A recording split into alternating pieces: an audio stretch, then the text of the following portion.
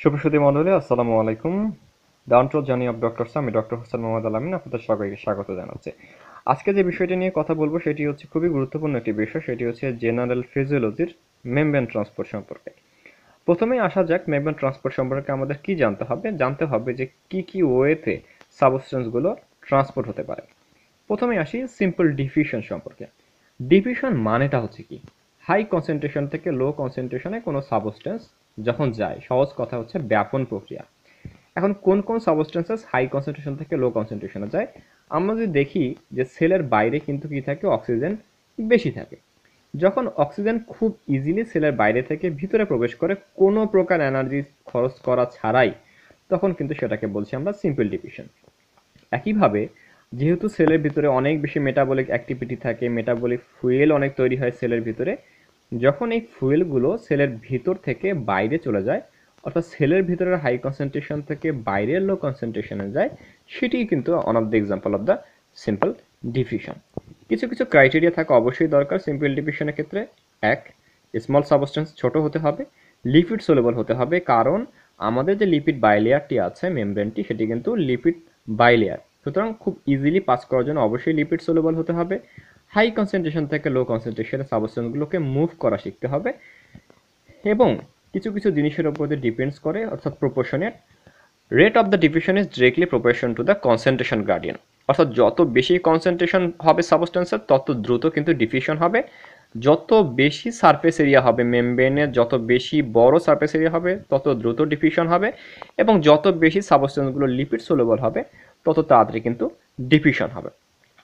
এখন inversely proportional কিছু বিষয় থেকে যায়, অর্থাৎ কখন আমাদের ডিফিউশনটা কম হবে। এক থিকনেস অফ দ্য মেমব্রেন মনে করলাম মেমব্রেনের থিকনেস অনেক মোটা, অনেক বেশি, তখন কিন্তু ডিভিশনটা ঠিকঠাক মতো হবে না। দুই number molecular weight of the substances যদি দেখি মলিকুলার ওয়েট অনেক বেশি, অনেক বড় বা অনেক ওজনের, তাহলেও কিন্তু আমার ডিভিশনটা ঠিকঠাক মতো হবে না। এখন হাই কনসেন্ট্রেশন থেকে লো কনসেন্ট্রেশনে আরেক ধরনের ব্যাপন প্রক্রিয়া আছে, যেটাতে কিন্তু এনার্জি লাগে না। কিন্তু সমস্যাটা হচ্ছে সে জায়গায় আলাদা একটা সাবস্টেন্স লাগে, যার কারণে কিন্তু এই ডিভিশনটা হয়। এবং যারা লিপিড সোলেবল নয়, যারা ওয়াটার সোলেবল যারা পোলার যারা larger molecule like sodium calcium potassium glucose এদের ক্ষেত্রে কিন্তু এই পদ্ধতিটা করতে হয়। একটা এক্সাম্পল যদি আমি আসি, যেমন আমি ভাত খেলাম, ভাত খাওয়ার পর কী হয়? আমার শরীরে রক্তে গ্লুকোজের পরিমাণ ব্লাড গ্লুকোজের পরিমাণ অনেক বেশি বেড়ে যায়। এখন তাকে তো কমাতে হবে। তাকে কমানোর জন্য আমার প্যানকেটিক বিটা সেল স্টিমুলেশন দেয়, যাও ইনসুলিন, তুমি রিলিজ হও। ইনসুলিন সুন্দর মতো রিলিজ হয়ে সরাসরি চলে যায় সেলের কাছে। গিয়ে বলে, প্লিজ, ব্লাড গ্লুকোজ থেকে আপনি গ্লুকোজগুলো নেন। সেল কি আর এমনি এমনি কথা শুনবে? অবশ্যই না। তখন ইনসুলিন তার ইনসুলিনের রিসেপ্টরকে বলবে, তুমি যাও গিয়ে সিগন্যাল দাও। ইনসুলিন রিসেপ্টর কিন্তু দুটো ডোমেন থাকে, একটা হচ্ছে সেলের বাইরে এক্সট্রা সেলুলার এবং আরেকটি হচ্ছে সেলের ভিতরে ইন্ট্রাসেলুলার ডোমেন। এখন ইন্ট্রাসেলুলার ডোমেইন অর্থাৎ যখন সিগনালটি গেল তখন কিন্তু সেলের ভিতরে কিছু মেমব্রেন বাউন্ড ভেসিকলস থাকে, যারা কিন্তু সবই প্রোটিন দ্বারা তৈরি এক প্রকার গ্লুকোজ চ্যানেল সিগন্যাল আসার পরপর ভেসিকলগুলো অপেক্ষায় ছিল তখন তখন তারা বলল, ঠিক আছে, যেহেতু সিগন্যাল চলেই এসেছে, আমরা সেলের ভিতরে আর না থাকি, একদম সারফেসে চলে যাই। তখন সবাই কিন্তু ভেসিকলগুলো সেলের সারফেসে চলে আসে। যখন সেলের সারফেসে ভেসিকলগুলো চলে আসে, তখন সেল মেমব্রেনের সাথে কিন্তু এরা ফিউজেস হয়ে যায়। যখন এরা সেল মেমব্রেনের সাথে ফিউজেস হয়ে যায় আলটিমেটলি কিন্তু তারা একটা ট্রান্সপোর্টার প্রোটিনের মতো করে একটা গ্লুকোজ ট্রান্সপোর্টার প্রোটিন তৈরি করে। এবং এর মাধ্যমে কিন্তু পারমিয়েবিলিটি বাড়ে এবং খুব চমৎকারভাবে গ্লুকোজগুলো এখানে প্রবেশ করে। এবং যখন ব্লাড গ্লুকোজ লেভেলটা বেশি হয়ে যায়, তখন লিভার সেল মাসেল এডিপোসাইট সবাই কিন্তু এই পদ্ধতিতেই তাদের সেলে কিন্তু গ্লুকোজ লেভেলটাকে প্রবেশ করায়। এখন প্রশ্ন হচ্ছে, যারা পোলার, যেমন সোডিয়াম ক্যালসিয়াম তারা কি করে? তার আগে বলে নেই সোডিয়াম এবং পটাশিয়ামের ব্যাপারে। সোডিয়াম হচ্ছে একটি সমুদ্র, অর্থাৎ পুরো নীল কক্সবাজার একটি সমুদ্র এবং তার মাঝখানে আপনি যদি পর্যটক হয়ে থাকেন, আপনার ব্যাগটি হচ্ছে পটাশিয়াম। অর্থাৎ পুরো সেলের বাইরে সবচেয়ে বেশি থাকে সোডিয়াম এবং সেলের ভিতরে যদি আপনার ব্যাগ থাকে, সেটি হচ্ছে পটাশিয়াম। এই পটাশিয়াম অনেক বেশি পরিমাণ সেলের ভিতরে থাকে এবং সোডিয়ামটার উল্টো, অর্থাৎ সমুদ্র, সেটি কিন্তু অনেক বাইরে থাকে। এখন প্রশ্ন হচ্ছে, এই সোডিয়াম আবার যেহেতু পোলার, এটি আবার লিপিড সোলেবল না লিপিড বাইলে আসে কীভাবে পাস করবে? মনে রাখবেন, সেল মেমব্রেনে কিছু পেপটাইড চেইন থাকে, অর্থাৎ প্রোটিন থাকে। এই প্রোটিনগুলো একসাথে একত্রিত হয়ে একটা চ্যানেল তৈরি করে। চ্যানেল তৈরি করার পর এই চ্যানেলের মাঝখানে একটা ওয়াটার ফিল্ড টানেল তৈরি হয় এবং এই টানেল দিয়েই কিন্তু সোডিয়ামটি ইজিলি পাস করতে পারে। এখন প্রশ্ন হচ্ছে সোডিয়াম যখন পাস করবে, তার আগে কিছু সে নিয়মকানুন মেনে চলে। সবাই আমরা ভোল্টেজ গেটের চ্যানেলের নাম মনে রেখেছি। অনেক বইয়ে দেখেছি, কিন্তু ভোল্টেজ গ্রেডের চ্যানেলটা আসলে কি? মনে রাখবেন, একটা সেল কিন্তু একটা নির্দিষ্ট অবস্থায় সে কিন্তু রেস্ট নেয়। অর্থাৎ সে ঘুম দেয় বা রেস্টিং কন্ডিশনে থাকে। সেলের এই কন্ডিশনটাকে আমরা বলি রেস্টিং মেমব্রেন পটেনশিয়াল। এখন একটা নির্দিষ্ট ভোল্ট সে কিন্তু আদর্শ হিসেবে ধরে রেখেছে। ধরে নিলাম মাইনাস নাইনটি ভোল্ট একটি সেলের নির্দিষ্ট অ্যামাউন্ট। অর্থাৎ এই ইলেকট্রনের চার্জের কম বা বেশি হলে সেটা কিন্তু ওপেন হয়ে যাবে। অর্থাৎ নাইনটি মিলিভোল্টে তার বাড়ির দরজা বন্ধ। কিন্তু একজন যদি মেহমান আসে, সোডিয়াম মেহমান, এবং তার মাইনাস সিক্সটি মিলিভোল্ট হয়ে গেল তার চার্জ তখন কিন্তু দরজা খুলে গেল। যখন দরজা খুলে গেল, তখন কিন্তু সেলে থাকা এই যে পেপটাইড চেনগুলো এরাও খুলে গেল প্রোটিন চ্যানেলটাও খুলে গেল। তখন কিন্তু যখন প্রোটিন চ্যানেলটা খুলে গেল, ওই যে সোডিয়াম যা কিনা ওয়াটার দিয়ে পাস করতে পারে, সে ওই ভোল্টেজ গেটেড সোডিয়াম চ্যানেলটা সে এই টানেলের ভিতর দিয়ে কিন্তু প্রবেশ করল। এবং টানেলের ভিতরে যেহেতু প্রবেশ করল এবং ভোল্টেজ যেহেতু সে কমাতে পেরেছে, সুতরাং এ ধরনের চ্যানেলগুলোকে বলা হয় ভোল্টেজ গেটেড সোডিয়াম চ্যানেল। এরপর আসা যাক আরও এক ধরনের চ্যানেল আছে। যেই চ্যানেলগুলোতে কি হয় পেপটার যে চেনগুলো থাকে সেলের সারফেসে, তার কিছু চেনে কিছু সাবস্টেন্স স্পেশালি কিন্তু যুক্ত হয়। এই যে সাবস্টেন্সগুলো যুক্ত হয়, এদেরকে বলা হয় লিগ্যান্ড। কী কী স্পেসিফিক সাবস্টেন্স যুক্ত হতে পারে? যেমন নিউরো ট্রান্সমিটার হরমোন, এভাবে যুক্ত হয়ে এরা প্রবেশ করে। এই ধরনের চ্যানেলগুলোকে বলা হয় লিগান গেটের চ্যানেল।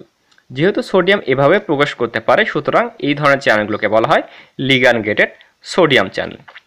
মনে রাখা দরকার অল দ্য যে সেল মেমব্রেনের ট্রান্সপোর্টারগুলো আছে, সবই কিন্তু মেডিটেড বাই দ্য প্রোটিন। এছাড়াও আরও এক ধরনের চ্যানেল দেখা যায়, সেটি হচ্ছে পটাশিয়াম লিকি চ্যানেল। অথচ সবসময় কিন্তু ওপেন থাকে। এই চ্যানেলও কিন্তু আমাদের মনে রাখতে হবে ফ্যাসিলিটার ডিভিশনের মাধ্যমে হতে পারে। তাহলে আমরা কী কী পেলাম ফ্যাসিলিটার ডিভিশন এক্সাম্পল এটি glucose potassium leaky channel voltage গ্রেনের sodium channel calcium channel potassium channel ligand গ্রেডের সোডিয়াম পটাশিয়াম ক্যালসিয়াম চ্যানেল এবং একই সাথে পটাশিয়াম লিকি চ্যানেল একদম সহজভাবে যদি দেখি ফ্যাসিলিটার ডিভিশনের ক্ষেত্রে কি হয়? হাই কনসেন্ট্রেশন থেকে লো কনসেন্ট্রেশনে যায়। কোনো প্রকার আমার এনার্জির দরকার নেই। এবং এটি হচ্ছে প্যাসিভ ট্রান্সপোর্ট মেকানিজম কারণ এখানে আমার এগিনেস্ট কেমিক্যাল গ্রেডিয়েন্টেও যেতে হয় না, আর কোনো প্রকার এনার্জিও খরচ করতে হয় না। এরপর আসা যাক আরেকটি সেলে।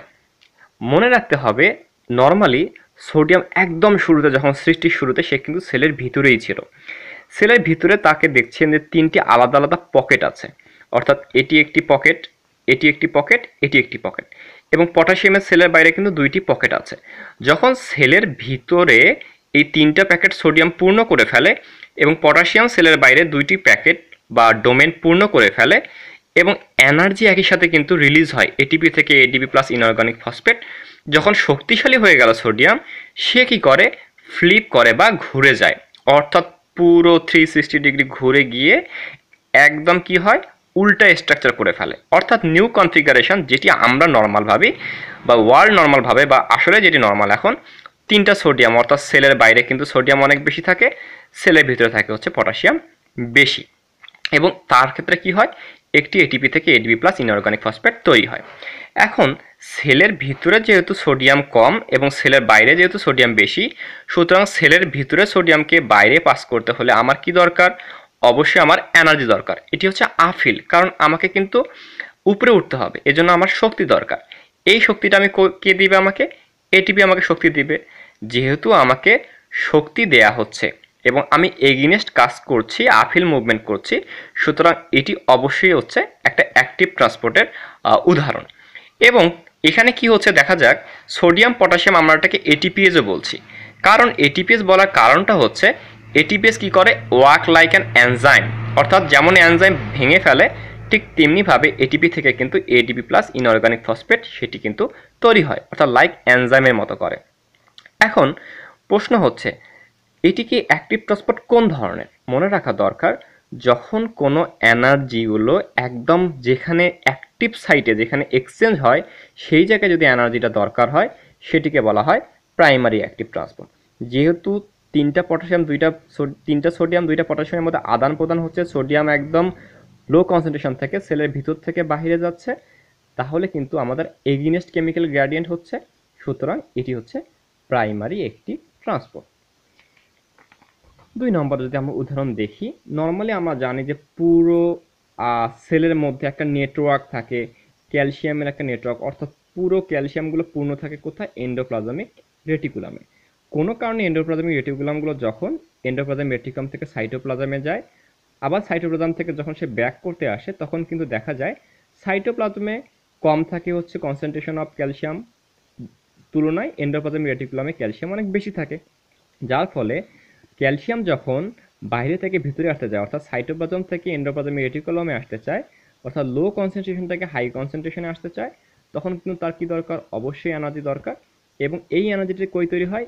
একদম অ্যাক্টিভ সাইডে তৈরি হয়, অর্থাৎ এটিপি থেকে এডিপি প্লাস ইনঅর্গানিক ফসফেট তৈরি হয় এবং যেহেতু এখানে এনার্জি প্রডিউস হচ্ছে বা এনার্জি দরকার হচ্ছে, সেহেতু এটিও কিন্তু one of the example of the primary active transport active transfer বললাম এই কারণে যে লো কনসেন্ট্রেশন থেকে হাই কনসেন্ট্রেশনে যাচ্ছে। দ্যাট মিনস এগেনস্ট কেমিক্যাল গ্যাডিয়েন্টে যাচ্ছে।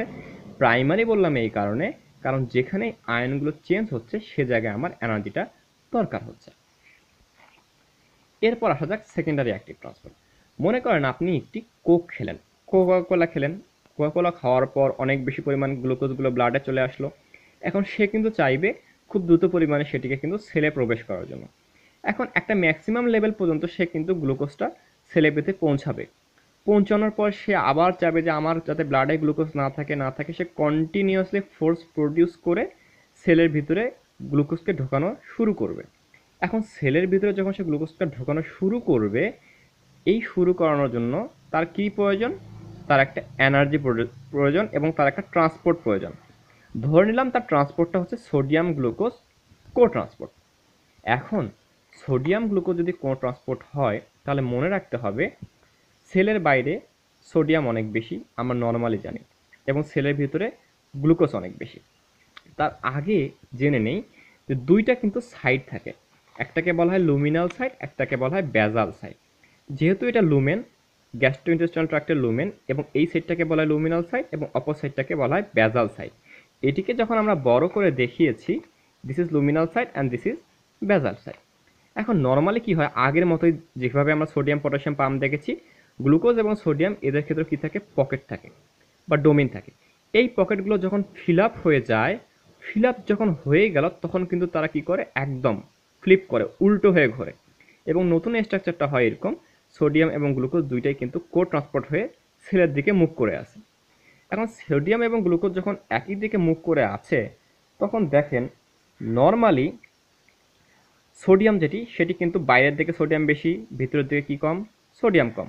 অর্থাৎ হাই কনসেন্ট্রেশন থেকে লো কনসেন্ট্রেশনে সোডিয়ামটা কিন্তু প্রবেশ করতে পারে। আমরা আগেই পড়েছি, যখন হাই কনসেন্ট্রেশন থেকে লো কনসেন্ট্রেশনে সোডিয়াম প্রবেশ করবে, এই ডিফিউশনটাকে আমরা বলেছি ফ্যাসিলিটেড ডিফিউশন আবার আমরা যেটা পড়েছি, যে বাইরের দিকে কিন্তু গ্লুকোজ লেভেল কম, ভিতরের দিকে গ্লুকোজ লেভেল অনেক বেশি, কারণ কন্টিনিউয়াসলি আমার গ্লুকোজ লেভেল কিন্তু ঢুকছে। যেহেতু লো কনসেন্ট্রেশন থেকে হাই কনসেন্ট্রেশনে গ্লুকোজ ঢুকছে এগেনেস্ট কনসেন্ট্রেশন গার্ডিয়ান, এটি কিন্তু অ্যাক্টিভ ট্রান্সপোর্ট।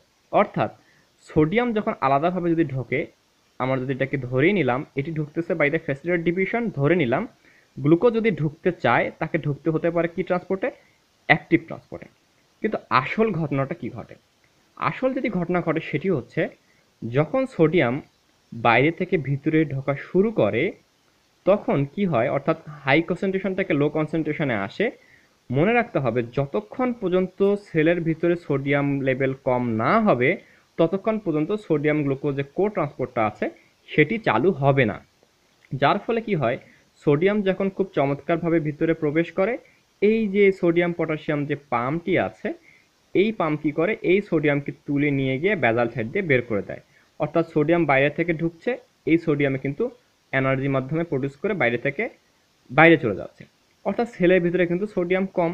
যখন সেলের ভিতরে আমার সোডিয়াম কম থাকছে, তখন কিন্তু হাই কনসেন্ট্রেশন থেকে লো কনসেন্ট্রেশনে সোডিয়াম বাইরে থেকে ভিতরে আসছে এবং অটোমেটিক্যালি আমার এনার্জি কিন্তু দরকার হচ্ছে না। বরং সেই এনার্জিটি কী হচ্ছে? সেই এনার্জিটি তাকে কাকে দিচ্ছে? গ্লুকোজকে দিচ্ছে। নে ভাই গ্লুকোজ তুই এই এনার্জিটি দিয়ে ভিতরে ঢুক। অর্থাৎ গ্লুকোজ কিন্তু সরাসরি কোনো এনার্জি পাচ্ছে না। বাইরে থেকে পাওয়া হাই থেকে লো কনসেন্ট্রেশনে পাওয়া যখন সোডিয়ামটা আসলো, তখন কিছু একটা এনার্জি সে কিন্তু প্যাসিভলি প্রডিউস করছে। সেই প্যাসিভ এনার্জিটি সে গ্লুকোজকে দেয় এবং গ্লুকোজ কিন্তু সেই ট্রান্সপোর্টের মাধ্যমে ভিতরে ঢোকে। যেহেতু অ্যাক্টিভ সাইডে কোনো এনার্জি প্রোডাকশন হয় না, বরং অন্য কারও কাছ থেকে ধার করে নিয়ে সে ট্রান্সপোর্টটি করে, সেহেতু এই ট্রান্সপোর্টটাকে বলা হয় কি? এই ট্রান্সপোর্টটাকে আমরা বলছি হচ্ছে সেকেন্ডারি ট্রান্সপোর্ট এখন প্রশ্ন হচ্ছে যে এই যে ট্রান্সপোর্টটাকে আমরা বললাম, এই ট্রান্সপোর্টটাকে আমরা কি ধরনের ট্রান্সপোর্ট বলছি? সোডিয়াম গ্লুকোজ কো ট্রান্সপোর্ট তাহলে আমরা যদি একদম সংক্ষেপে বলি, তাহলে আমি কি দেখলাম? আমি তাহলে বললাম কি কি? নাম্বার ওয়ান থেকে আসি। প্রথম থেকে আসি বুঝতে হবে সিম্পল ডিভিশনের ক্ষেত্রে আমাকে কি করতে হবে? সাবস্টেন্সগুলো হাই কনসেন্ট্রেশন থেকে লো কনসেন্ট্রেশনে আসছে লিপিড সোলেবল থাকছে, কোনো প্রকার এনার্জি আমার দরকার নেই। দুই নম্বর ফ্যাসিলিটেড ডিভিশনের ক্ষেত্রে যারা কিনা লিপিড সোলেবল না, কিন্তু মলিকুলার ওয়েট অনেক বেশি, তাদেরকে আমি ঢুকাচ্ছি কিসের মাধ্যমে? কিছু প্রোটিন সাবস্টেন্স আছে, তারা কিনা আমাকে সিগন্যাল দেয়। এই সিগনালগুলো কীভাবে দিতে পারে? আইদার ভোল্টেজ গ্রেড দিতে পারে অথবা লিগ্যান্ড গ্রেড দিতে পারে। তিন নম্বর হচ্ছে, যখন ভোল্টেজ লিগ্যান্ড হয়েই গেল, এখানে কি আমার এনার্জি প্রডিউস হচ্ছে? না। যেহেতু আমার এনার্জি দরকার হচ্ছে না, সুতরাং এটি হচ্ছে প্যাসিভ ট্রান্সপোর্ট মেকানিজম তারপর কি হচ্ছে আমার? আমি চলে আসলাম কোথায়? কনফিগারেশনের মাধ্যমে যে আমাকে এগেনস্ট কেমিক্যাল গ্রেডিয়েন্টে কিছু করতে হবে, অর্থাৎ অ্যাক্টিভলি কিছু কাজ করতে হবে। যেহেতু আমি অ্যাক্টিভ ট্রান্সপোর্ট করছি এবং আমি শক্তি উৎপাদন করছি অ্যাট দ্য সাইটে সুতরাং এটি হচ্ছে প্রাইমারি অ্যাক্টিভ ট্রান্সপোর্ট একই সাথে ক্যালসিয়ামের ক্ষেত্রে, সেটিও যেহেতু অ্যাক্টিভ সাইটে এনার্জি প্রোডাকশন করছে, সেটিও প্রাইমারি অ্যাক্টিভ ট্রান্সপোর্ট এবং সেকেন্ডারি অ্যাক্টিভ ট্রান্সপোর্ট আমরা কখন বলছি? যখন যেটি হচ্ছে যে অ্যাট দ্য সাইটে না গিয়ে, বরং সে হচ্ছে কি করছে অ্যাট দ্য সাইটে না গিয়ে যখন প্যাসিভলি সে যখন একটা মানুষের ধার করা এনার্জি পাচ্ছে, তখন সেটাকে আমরা বলছি সেকেন্ডারি অ্যাক্টিভ ট্রান্সপোর্ট পর্বের, দ্বিতীয় পর্বে দেখার আগ পর্যন্ত শুভকামনা জানিয়ে এখানে শেষ করছি। আসসালামু আলাইকুম।